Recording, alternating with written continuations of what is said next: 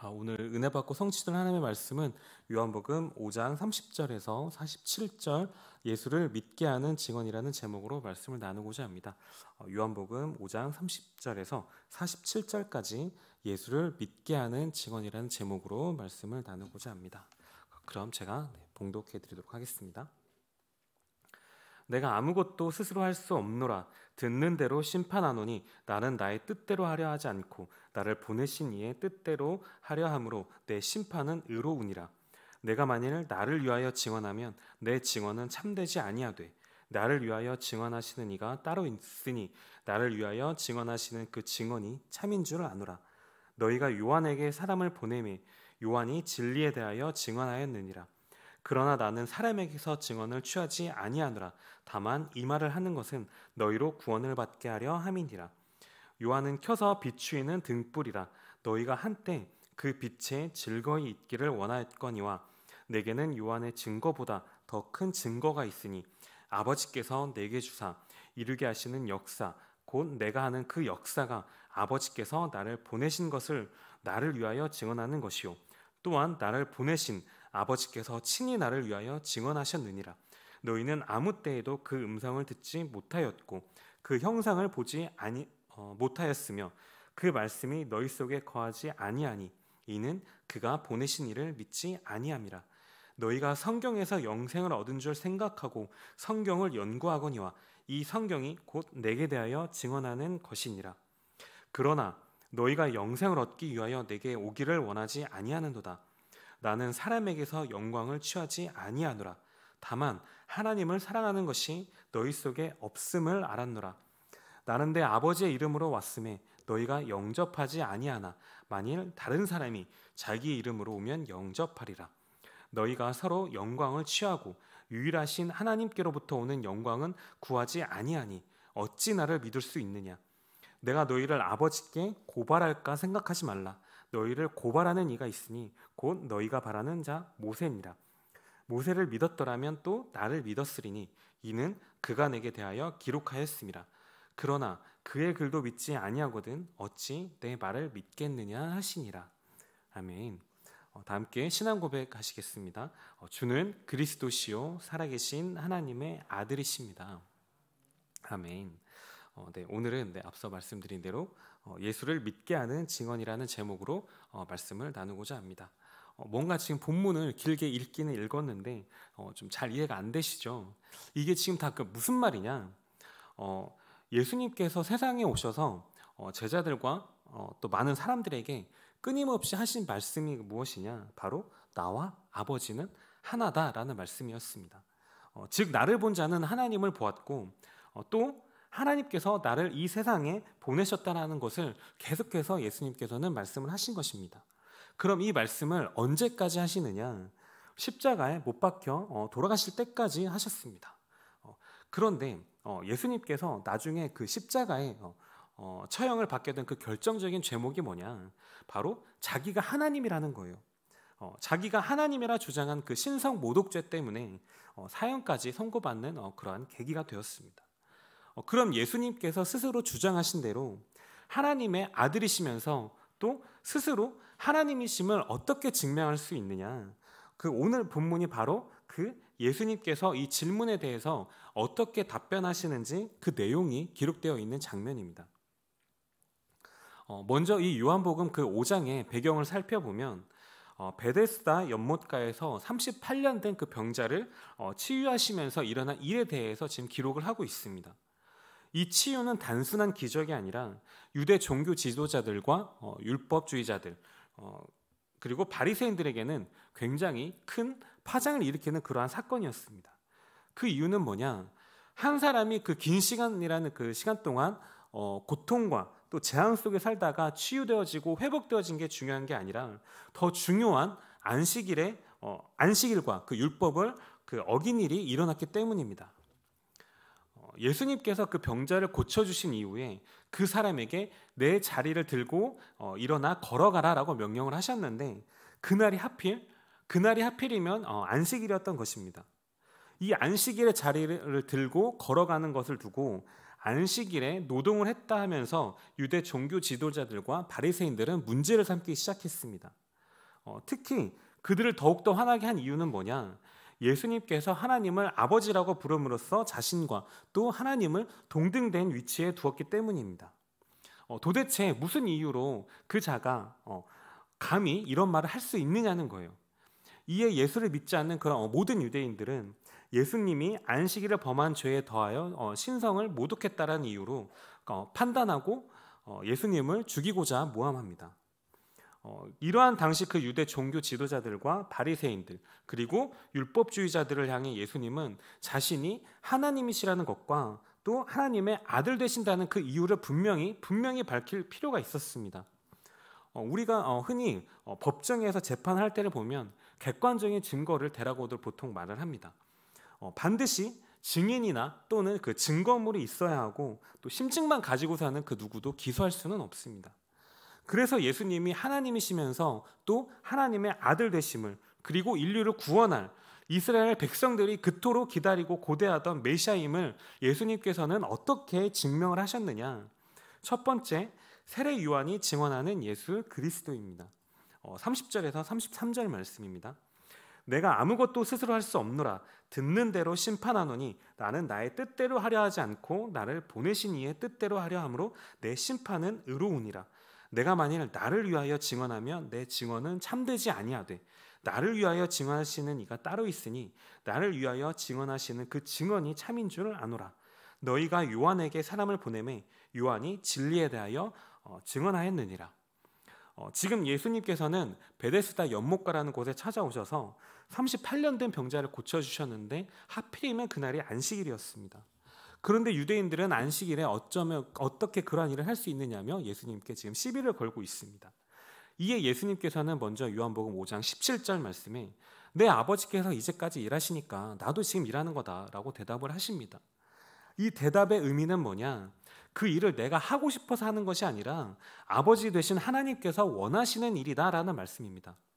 그리고 오늘 본문 말씀인 30절에 나 스스로 하는 것은 없다. 내가 알아서 하는 것이 아니, 어, 아니라 나는 나를 보내신 이의 뜻대로 하는 것뿐이다라고 대답을 하시는 겁니다. 즉 안식일을 지키라고 하신 분도 하나님이시고 그분께서 그날에 그 일을 하라고 하셨는데 너희가 무슨 할 말이 있느냐라고 말씀하는 겁니다. 어, 다시 말씀드리면 유대 종교 지도자들과 바리새인들과 어, 또 율법주의자들이 당신이 정말 하나님이면서 하나님의 아들이 맞습니까? 라는 그 질문에 예수님의 대답은 나는 지금 너의 그런 질문에 대답을 하기 위해서 이 자리에 온 것이 아니라 나를 보내신 이의 어, 그 시키신 일을 하는 것뿐이다라고 말씀을 하는 겁니다. 어, 예수님께서는 어, 우리에게 뭔가 자신을 증명하기 위해서 또 우리를 무엇인가 이제 어, 어떤 좋은 말로 어, 설득을 하기 위해서 오신 분이 아닙니다. 또 예수님께서는 어, 선행을 하기 위해서 착한 일을 하시고 또 어려운 사람을 돕기 위해서 또 심판하시기 위해서 놀라고 무섭게 하기 위해서 뭐 그런 한 것들 때문에 이 땅에 오신 것이 아니에요.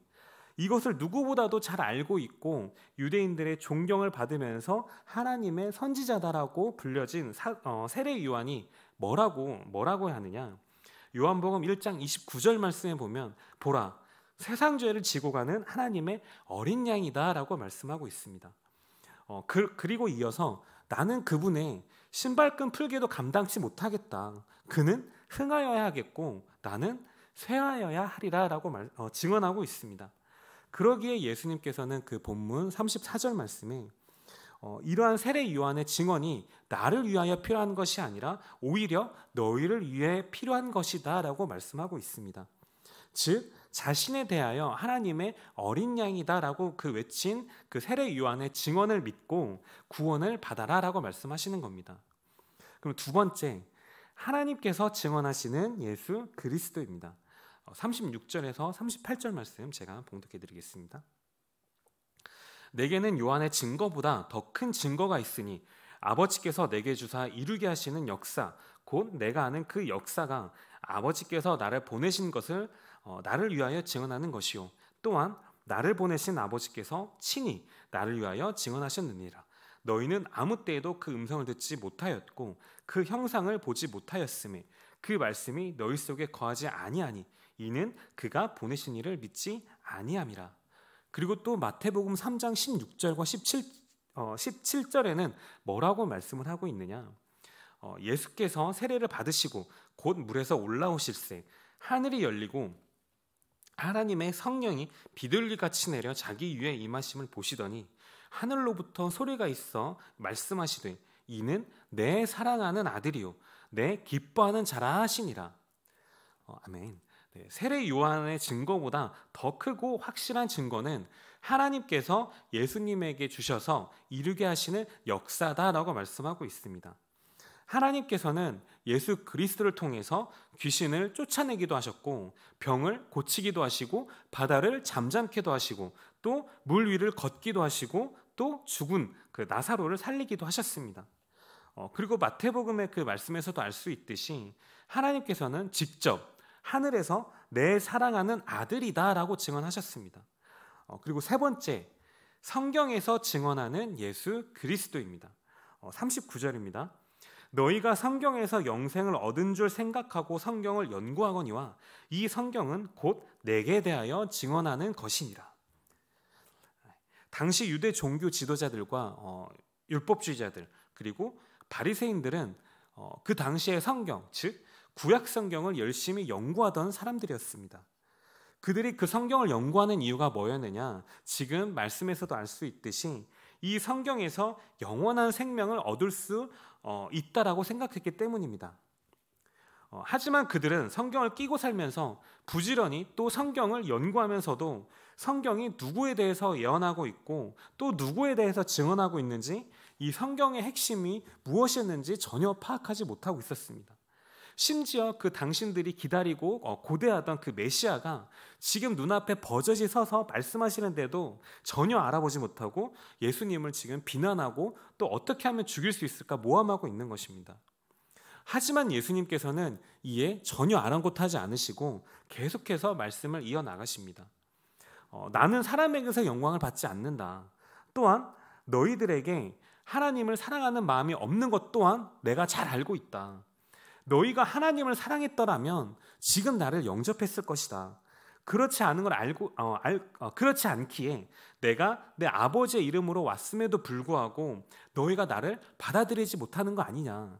어? 한마디로 나를 어, 못 믿는 거 아니냐라고 말씀을 하시면서 그렇다고 어, 그렇다고 내가 너희를 고발할 것으로 생각하지는 말아라. 너희를 고발하는 이는 내가 아니라 바로 어, 너희가 믿고 따르는 모세다라고 말씀하고 있습니다. 어, 유대인들에게 모세는 어떠한 사람이었느냐? 하나님으로부터 율법을 부여받은 자로서 유대인들의 어, 가장 존경을 받는 인물 중에 한 명이었고 또 그들은 모세가 준 그 율법을 어, 잘 지킴으로써 구원과 또 영생을 누릴 수 있다라고 배우고 또 후대들에게 그렇게 가르쳤습니다. 하지만 그 어떠한 인간도 율법으로 어, 온전히 될 수가 없습니다. 율법의 기능이 뭐냐? 구원과 영생을 얻기 위함이 아니라 죄를 깨닫게 해서 복음이 왜 진짜 나에게 필요한지 그 알게 해주는 것이 바로 율법의 기능입니다. 그리고 모세는 모세오경 우리가 잘 알고 있는 어, 창세기부터 출애굽기, 레위기, 민수기, 신명기에 이르기까지 누구를 말하고 있느냐? 오직 단 한 분을 말하고 있는데 그분이 바로 예수 그리스도. 예수 그리스도가 우리를 위해서 오실 것이다라는 것을 기록하고 있습니다. 어, 그리고 마태복음 16장 13절에서 20절 말씀 우리가 너무나도 잘 알고 있는 말씀입니다. 예수님께서 제자들에게 묻습니다. 사람들이 나를 누구라 하느냐? 그 질문을 하신 그 이유가 뭐냐? 내가 왜 이 땅에 왔는지를 아느냐는 겁니다. 하나님께서 나를 왜 이 땅에 보내셨는지 사람들이 알고 있느냐라고 지금 제자들에게 확인하시는 겁니다. 이 질문에 제자들은 이렇게 대답하죠. 누구는 세례 요한 같다고 하고 또 누구는 어, 예레미야 또는 엘리야 같다라고 하고 또 누구는 어, 선지자 중에 하나인 것 같다라고 대답을 합니다.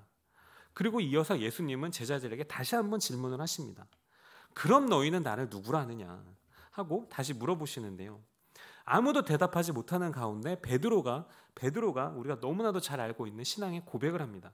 주는 그리스도시요 살아계신 하나님의 아들이십니다. 오직 그리스도. 참 왕 대신 그리스도로 오셔서 사탄의 권세를 박살내신 것입니다. 그리고 오직 예수 그리스도 참 제사장 되신 그리스도로 오셔서 인간의 모든 죄와 어, 저주 문제, 과거, 현재, 미래 모든 문제를 해결하신 겁니다. 오직 예수는 그리스도, 참 선지자, 선지자 되신 그리스도가 어, 그리스도로 오셔서 인간이 다시 하나님을 만날 수 있는 길을 열어주신 것입니다. 네, 그러면 결론입니다. 그럼 오늘 본문 39절에 뭐라고 말씀하고 있느냐? 이 성경은 다른 누군가가 아닌 나를 증언하는 것이다라고 예수님께서 직접 증언하고 계십니다. 그런데 그런데 유대 종교 지도자들과 바리새인들과 율법주의자들은 성경을 실컷 연구하면서도 성경의 핵심이 또 누구를 예언하고 증언하고 있는지를 어, 전혀 알지 못하고 핵심을 놓쳐버리고 맙니다.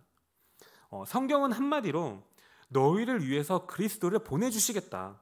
그리고 그 그리스도가 실제로 이 땅에 오셔서 어, 어, 육신의 몸을 입고 이 땅에 오셨다. 그 그리스도가 너희의 모든 죄와 저주 문제를 대신해서 십자가에서 죽으시고 부활하셨다. 믿기만 하면 너희가 구원을 받을 것이다 라는 것입니다. 어, 이 영적 사실을 성경은 말씀하고 있는 겁니다. 어, 성경에서 증언하는 그 이 예수 그리스도를 바로 이해하고 믿는 순간 여러분들 모두에게 산업과 그 가정과 후대들에게 어, 하나님의 그 역사가 일어날 줄 어, 확신합니다. 오늘 하루도 하나님의 은혜로 남은 자 된 것에 감사하면서 25시 또 그 영혼의 응답을 체험하는 여러분 다 되시길 주님의 이름으로 축복합니다.